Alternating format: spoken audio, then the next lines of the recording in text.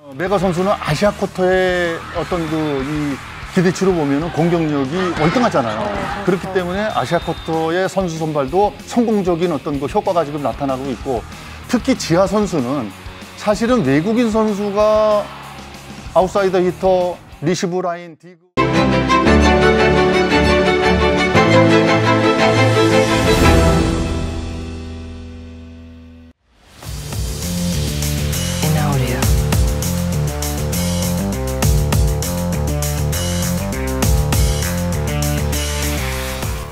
Megawati Hangestri berkiprah di Liga Voli Korea Selatan alias Filik pada awal musim 2023-2024.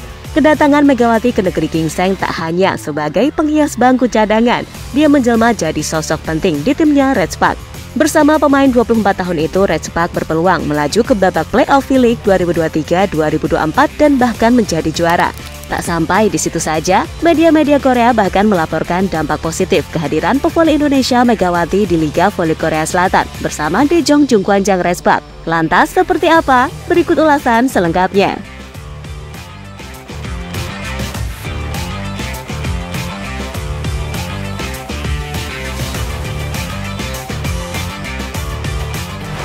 Laju tim voli putri Korea Selatan Respak semakin sulit terbendung. Megawati Hangesri dan kawan-kawan kembali meraih hasil positif dengan mengalahkan sang juara bertahan Haipas.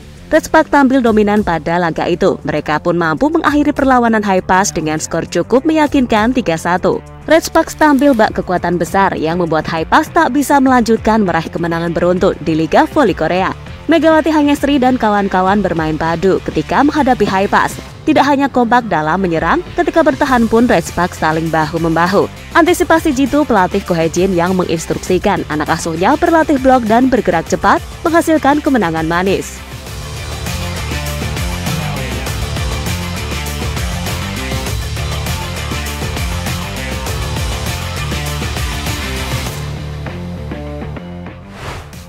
Sementara itu, kemenangan atas Haipas sendiri merupakan kemenangan kelima Red Spark secara beruntun musim ini, sekaligus memperkokoh posisi mereka di peringkat ketiga klasemen sementara. Tak hanya itu saja, kemenangan atas Haipas dengan skor 3-1 tersebut tak lepas dari peran krusial sang superstar baru di Liga Korea, Megawati Hangesri Pertiwi, di mana pemain 24 tahun itu memang hanya mencetak 16 poin saja, sangat telak jika dibandingkan dengan sahabatnya Gia yang mencetak 31 poin. Akan tetapi peran Mega tak kalah krusial. Dia selalu bisa diandalkan dengan bisa mencetak poin-poin yang sangat krusial, sehingga membawa Respak menang cukup mudah pada match tersebut.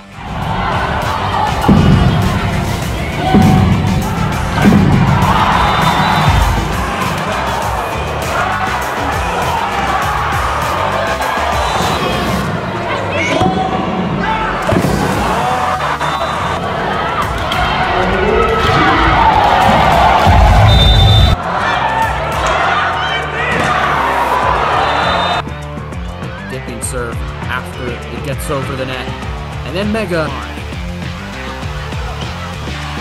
Got it up by no. And dipping serve after it gets over the net.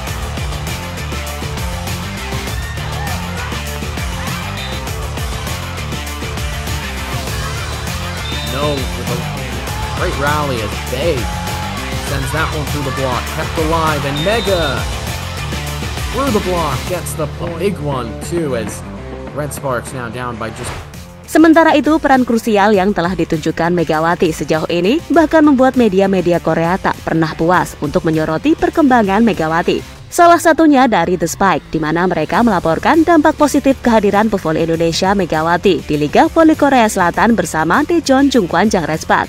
Megawati berkiprah di Liga Voli Korea Selatan alias V-League pada awal musim 2023-2024. Kedatangan Megawati ke negeri Gingseng tak hanya sebagai penghias bangku cadangan saja, dia menjelma jadi sosok penting di timnya Red Spark. Bersama pemain 24 tahun itu, Red Spark berpeluang melaju ke babak playoff V-League 2023-2024 dan bahkan menjadi juara.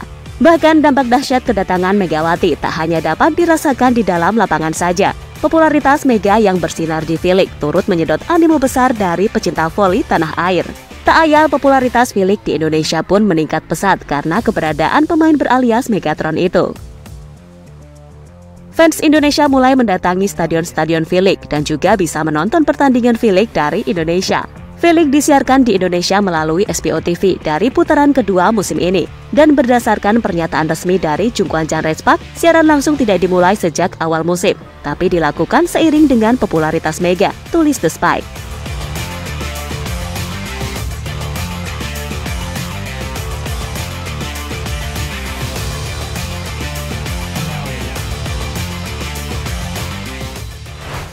Sementara itu, Megawati yang memiliki peran vital di dalam tim kini dianggap memiliki dampak yang sama besar dengan bintang sepak bola Korea Selatan yang bermain di Tottenham Hotspur, Son Heung-min, bagi para penggemar Indonesia di Korea.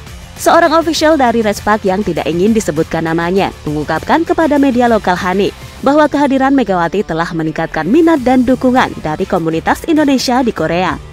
Setelah Mega menjadi pemain terbaik pada putaran pertama, orang-orang Indonesia di Korea berdatangan ke stadion, seperti Song Hun Min di Korea.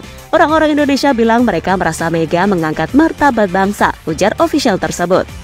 Kehadiran Megawati di Respak tidak hanya meningkatkan jumlah penonton di stadion, tetapi juga berdampak signifikan terhadap kenaikan jumlah pelanggan akun YouTube Respak. Dari 30 ribu pelanggan, jumlah tersebut melonjak drastis menjadi 150 ribu, dengan 80 persen di antaranya merupakan orang-orang Indonesia, menunjukkan dukungan besar dari masyarakat Indonesia terhadap Megawati. Dalam hal prestasi, Megawati telah membuktikan dirinya sebagai salah satu pemain kunci di lapangan, dengan total 676 poin dari 32 pertandingan, Megawati menempati urutan ketujuh dalam daftar top skor Liga Voli Korea. Selain itu, ia juga memiliki rata-rata serangan sukses mencapai 43,38 persen, yang tertinggi kelima di antara semua pemain di Liga Voli Korea sektor putri. Dan jadi itulah ulasan media Korea ini buktikan pengaruh besar Megawati di V-League. Halo, izin iklan sebentar ya guys. Jadikan ruangmu bernuansa timnas. Temukan beragam poster dinding, sepak bola dan timnas dengan desain menawan, kualitas premium dan harga yang tidak akan menguras kantong. Segera klik link Shopee di deskripsi video ini dan dukung timnas dengan sepenuh hati. Mulai dari dinding rumahmu.